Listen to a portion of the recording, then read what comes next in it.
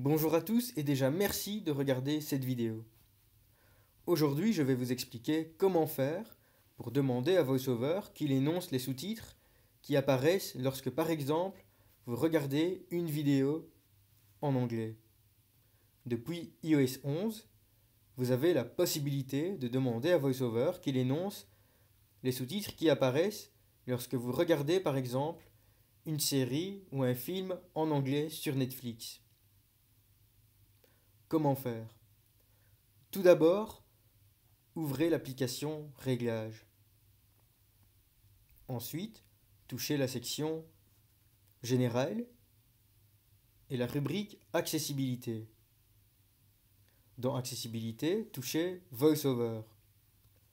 Dans VoiceOver, touchez Rotor et vérifiez que l'option Description multimédia soit activée. Cette option cochée, ouvrez par exemple l'application Netflix.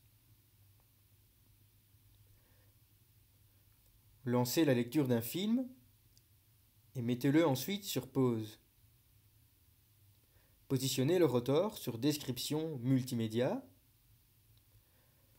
et ensuite faites glisser votre doigt vers la droite vu que votre iPhone est donc en mode paysage. Choisissez l'option qui vous convient le mieux. Soit vous choisissez la description uniquement audio, donc énonciation, soit vous choisissez l'énonciation et le braille, ou soit uniquement le braille. Relancez ensuite la lecture de votre film et écoutez. Conteneur. En tête. Navigation verticale. Atténuation de l'audio. Langue. Description multimédia. Braille. Énonciation. Non. Énonciation et braille. was a safe community, there was very little crime. It was a state of innocence. On vivait dans l'innocence. and authorities. Tout le monde faisait confiance aux autorités. Et la presse ne mentait pas. C'est comme ça qu'on vivait.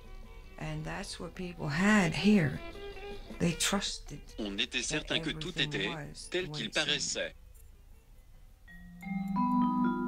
Journal télévisé, bonsoir. Ceci est un flash info. Un volcan est entré en éruption sur les îles Westman. C'est un spectacle très effrayant. On se dirait en enfer.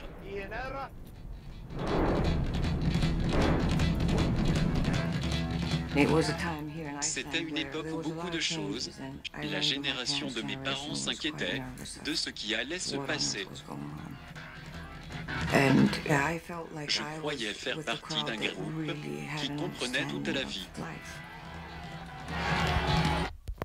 J'espère que cette vidéo vous a plu. Vous avez la moindre question sur cette astuce, alors surtout, n'hésitez pas à m'envoyer un mail à l'adresse vincent at fondationaic.be.